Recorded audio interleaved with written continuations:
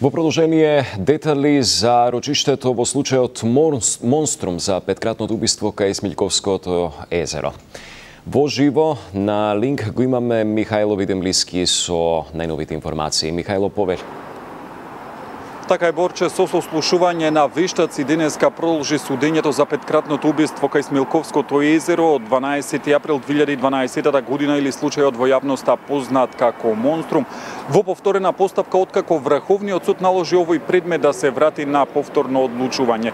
Вештите лица раскажуваа за отпечатоците пронајдени во три возила кои што припаѓаат на обвинетите, но еден вештак зборуваше и за Opel Omegата, возилото кое што беше пронајдено Така од прилика десетина километри од местото каде што беше извршено Според анализите на виштите лица, од печатуците пронајдени во возилата се совпаѓаат со а, оние на обвинетите со оглед на тоа што ги има во базите на Министерството за внатрешни работи.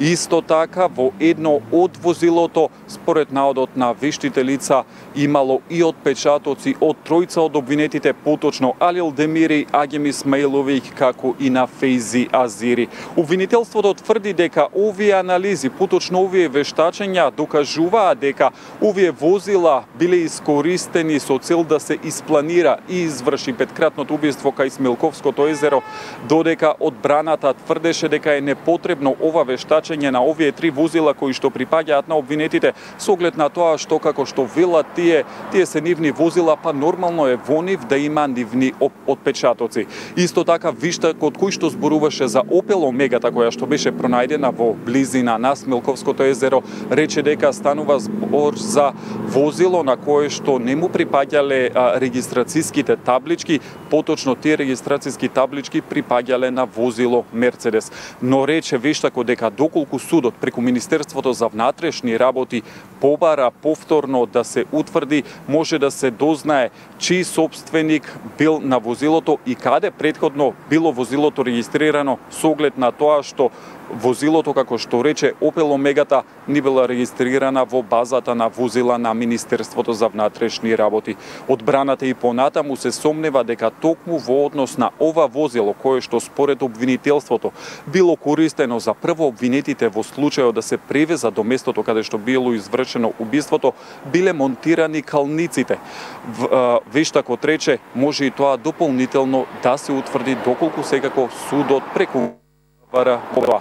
Имаме изјави од застапникот на семејствата на убиените момчиња и рибарот и адвокатот на Серауфи, застапникот на одбраната. Па да ги погледнеме нивните изјави. Од повеќе од обвинетите најдени се папиларните линии. Значи, претресувани се возилата од сите страни внатрешно, најдени се многу фискални сметки, многу а, други предмети, барање за повторување на кривична постапка, барање за издавање на одобрение за патничко моторно возило за управување надвор во странство. Исто така најдено е од формуларите што се од грчкиве за патување во, во странство се потврди како и до сега дека всушност сите од не сите, меѓутоа дел од обвинетите веќе имаат утврдени папиларни линии. Првин симптоматично е што од многуте од земени патнички моторни возила испаѓа дека само Опелот кој е најбитен, практично само тој не е обезбедуван, за разлика од сите други возила кои се гротоземени од самите осомничени, обвинети. Многу е значи чудно што единствено ова возило не е обезбедено како што тоа треба според законот.